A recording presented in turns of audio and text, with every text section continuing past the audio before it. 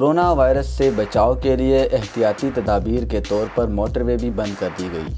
National highway and motorway کی جانب سے کہا گیا کہ ملک بھر کی تمام موٹر ویز پبلک ٹرانسپورٹ کے لیے بند رہے گی۔ کسی بھی گاڑی میں صرف دو افراد کو سفر کرنے کی اجازت دی جائے گی۔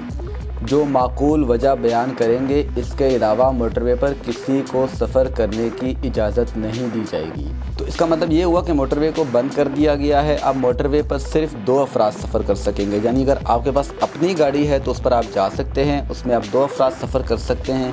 اور وہ بھی کوئی ریزن بتائیں گے کہ ہم یار اس وجہ سے لاہور سے پشاور یا پشاور سے لاہور یا لاہور سے راول پنڈی کہیں جا رہے ہیں۔ عام جو بسیں ہوتی ہیں جیسا کہ بلال ٹریولز، فیصل موورز وغیرہ وغیرہ یہ سب کچھ بند کر دیے گئے ہیں۔ موٹر وے پر مال بردار گاڑیوں، تیل کی ترسیل والی گاڑیوں اور ضروری اشیاء خورد و نوش والی گاڑیوں کو کم سے کم عملے کے ساتھ داخلے کی اجازت ہوگی۔ اس کا مطلب یہ ہوا کہ جو پیٹرول ہوتا ہے، ڈیزل ہے، L P G L C N G gas وغیرہ اور وہ گاڑیاں جو ایک شہر سے دوسرے شہر ضروری سامان جس کے سبزی، آٹا، نمک وغیرہ پہنچاتے، چینی وغیرہ پہنچاتے ان لوگوں کو اجازت ہوگی موٹر وے پر، لیکن عام طور پر اس میں پانچ، چھ، سات، آٹھ افراد ہوتے ہیں۔ کچھ لوگ ایکسٹرا ہوتے ہیں تاکہ ان کا کرایہ بچ جائے، ایک شہر سے دوسرے شہر پہنچ جائے۔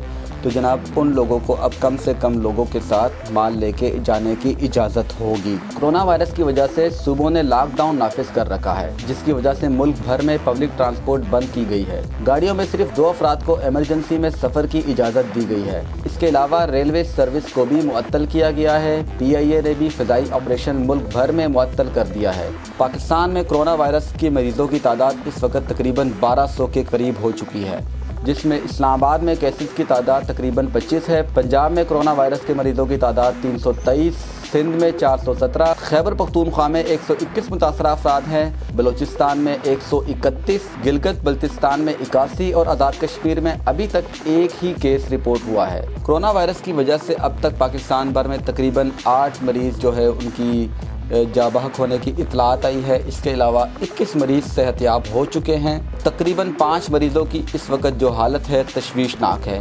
آپ لوگ اپنے گھر پر رہیں، بلا وجہ باہر بالکل نہ نکلے اس ویڈیو میسج کا پیغام اتنا تھا کہ موٹر وے کو بند کر دیا گیا ہے۔ اپنی حفاظت کیجیے اللہ حافظ۔